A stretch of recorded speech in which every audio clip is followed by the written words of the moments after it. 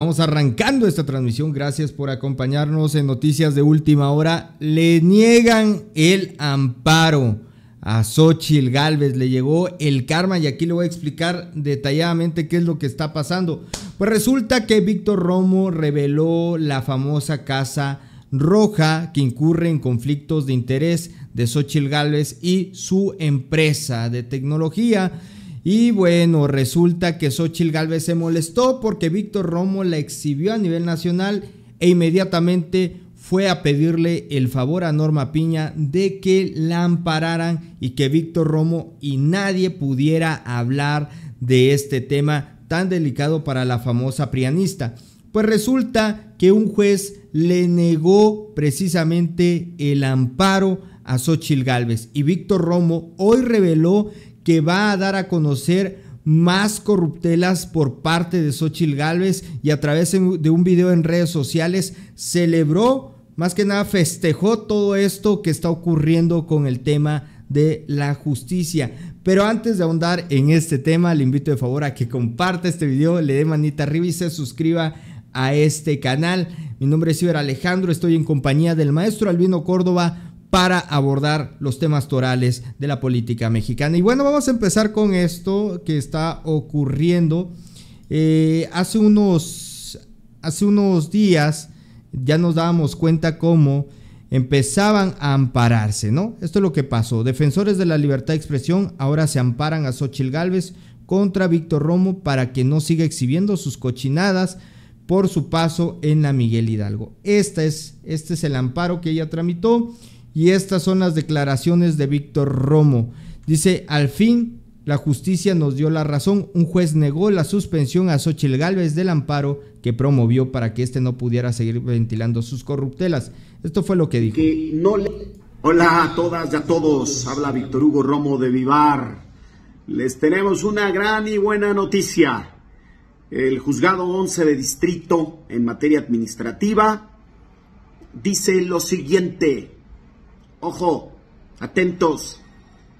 Se niega la suspensión definitiva a Xochitl Galvez, la cual se hizo consistir en que no se hicieran publicaciones en redes sociales o apariciones en medios de comunicación en donde se realizaran pronunciamientos en contra de ella por parte de Víctor Hugo Romo de Vivar Guerra. Solicitud, solicitud que le fue negada, derivado de que no le asistía la razón, como en muchas cosas, ya que al ser analizado se advierte que su servidor, Víctor Hugo Romo de Vivar Guerra, como ciudadano, puede hacer manifestaciones en ejercicio de su derecho de libertad de expresión.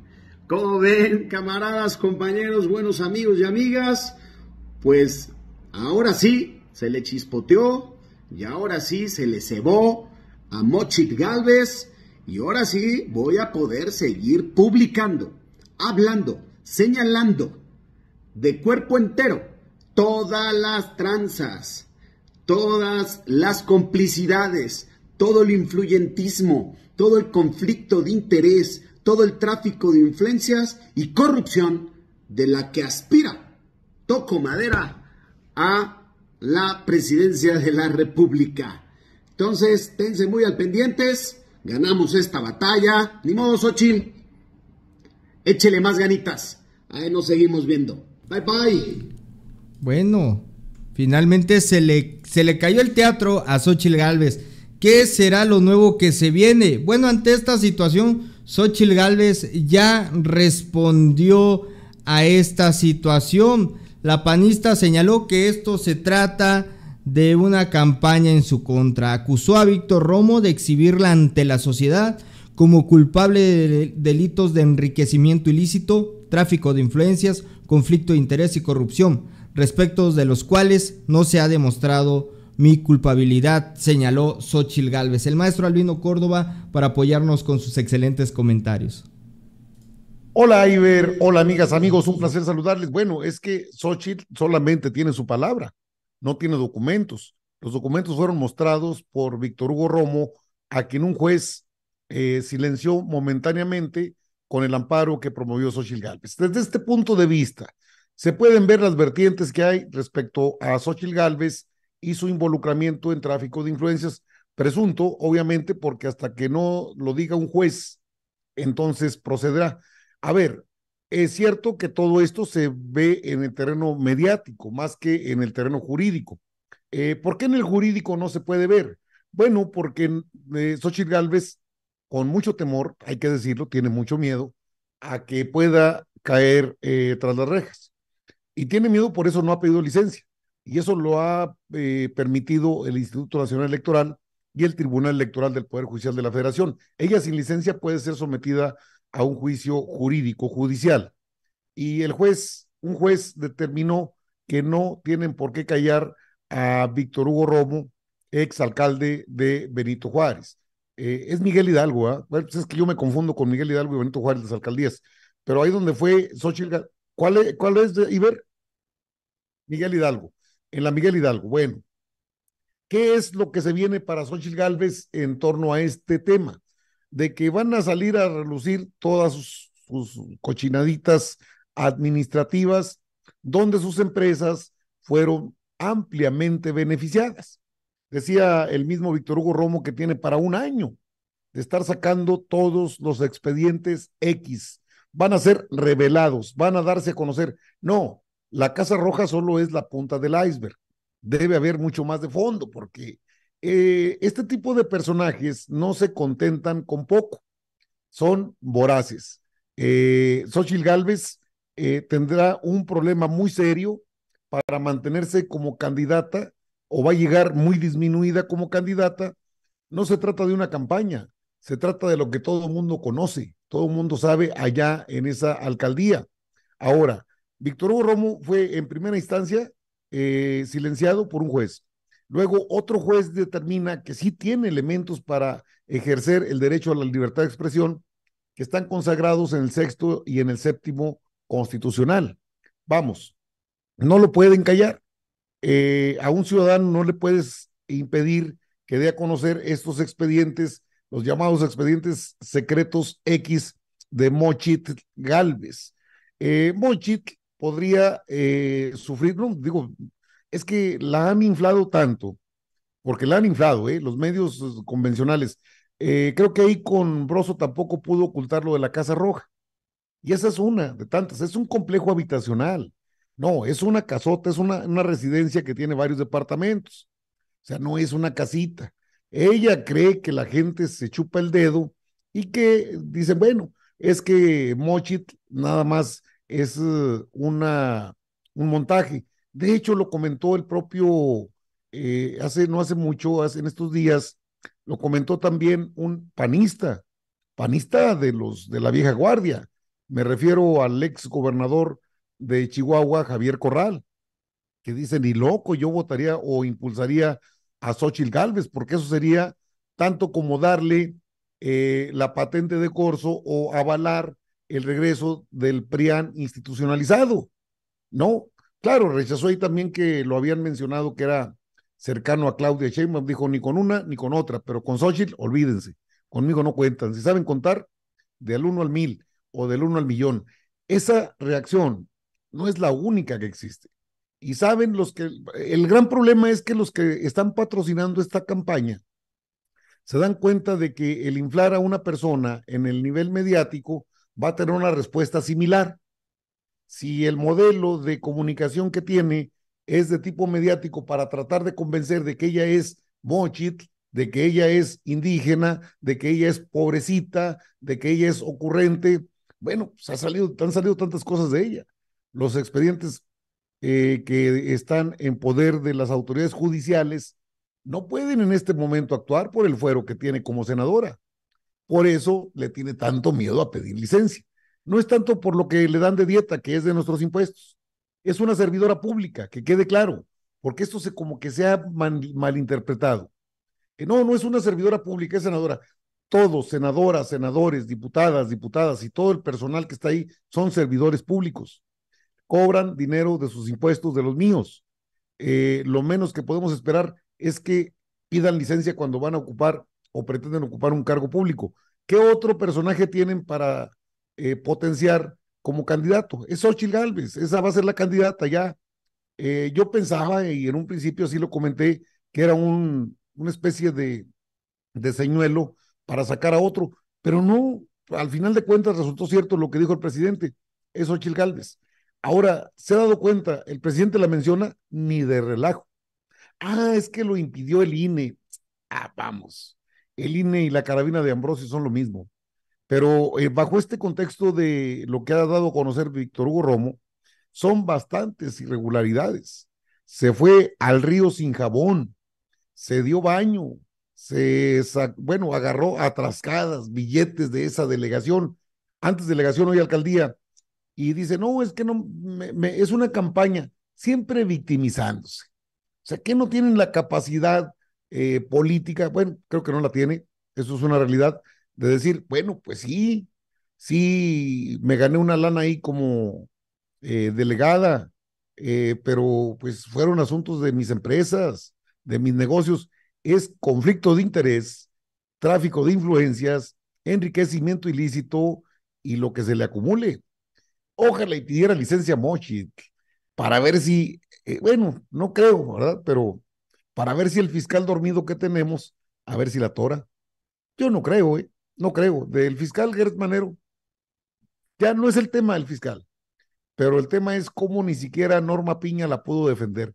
Y eso llama la atención, porque les está fallando uno de sus caballos eh, de carreras o uno de sus protectores más evidentes, que es el Poder Judicial. No pudieron detener a Víctor Hugo Romo. Y no es el único que va a salir con cuestiones relacionadas a Mochit Galvez, que debería estar en el tambo, sí, pero el famoso fuero, pues la protege sobre esto, Iber. Me parece hasta una burla para el pueblo, ¿eh? ¿eh? pero de que le den seguimiento a todos estos expedientes X, tanto que les gusta la X. Vamos a ver cómo se pone, porque van a salir muchas cosas.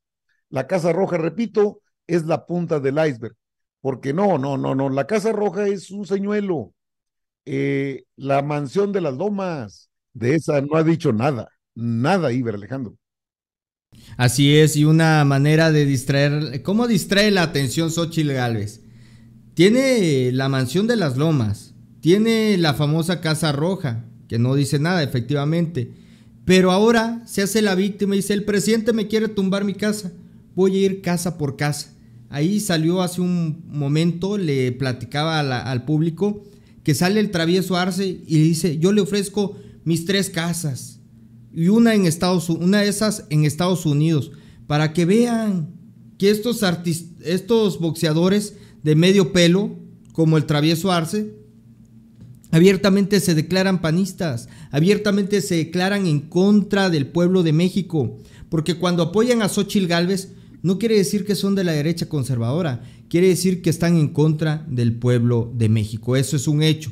Ahora bien, entendemos que no simpaticen con la 4T, pero qué bueno que se les cae la máscara. Fuera máscaras, son prianistas y eran de closet. Y gracias al presidente López Obrador, hoy salen de ese closet. Increíble increíble. Y Xochil Gálvez ahora está pues haciéndose la víctima. El día de ayer la entrevistaron en Tragaluz, que es un programa de, de Loretito, de esos que tiene Loretito.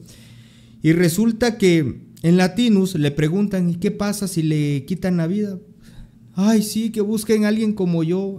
Ay, hombre, Xochil Gálvez no necesita el presidente López Obrador hacerte daño. Solita te estás hundiendo en el fango. Todavía no lo entiendes. Todavía no lo captas. Bueno, ese, eso es por su falta de raciocinio y de conciencia a la hora de toma de decisiones. Porque la mala toma de decisiones que ha tenido Xochitl Gálvez la ha llevado a derrapar de esta manera.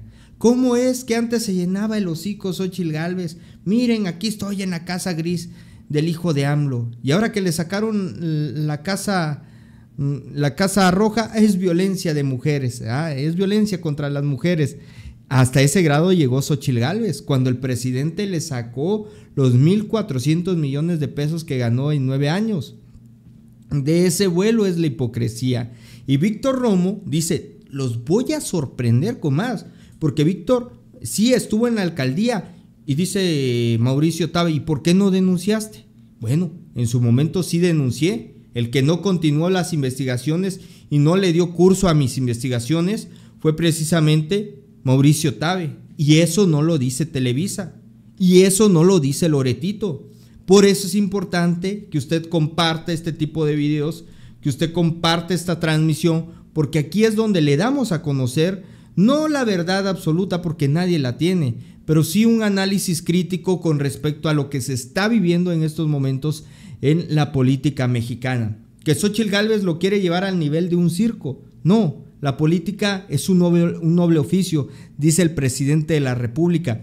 Pero parece que Xochitl, que Cochil Gálvez no lo entiende. Siga haciendo sus shows, siga yendo a las casas de sus seguidores.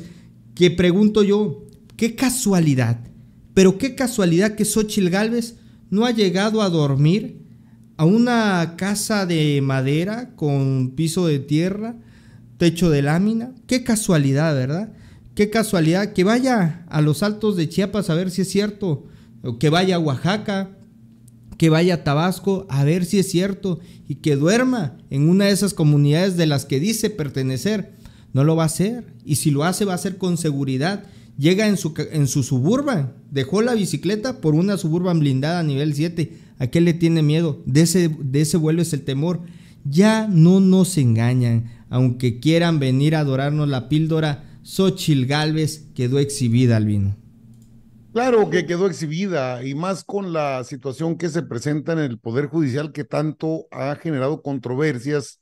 Qué bueno que un juez determinó que Víctor Hugo Romo puede eh, dar a conocer todo lo que él considere que es importante desde el punto de vista constitucional, es que no lo pueden detener.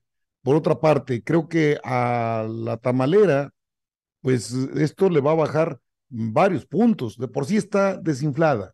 No les ha dado el resultado que esperaban, porque ellos esperan un boom. Eh, oh, es que es una figura disruptiva, es, que es una outsider. No, no, no, no, no. Estamos en México. En México los liderazgos son conocidos, liderazgos, no ocurrentes. Y Xochitl, pues, no deja de ser eh, un eh, elemento ocurrente que quieren vender como eh, muy cercana al pueblo de México, pero que la realidad le, pues, la, la, realidad aparece, la verdad siempre va a aparecer, siempre.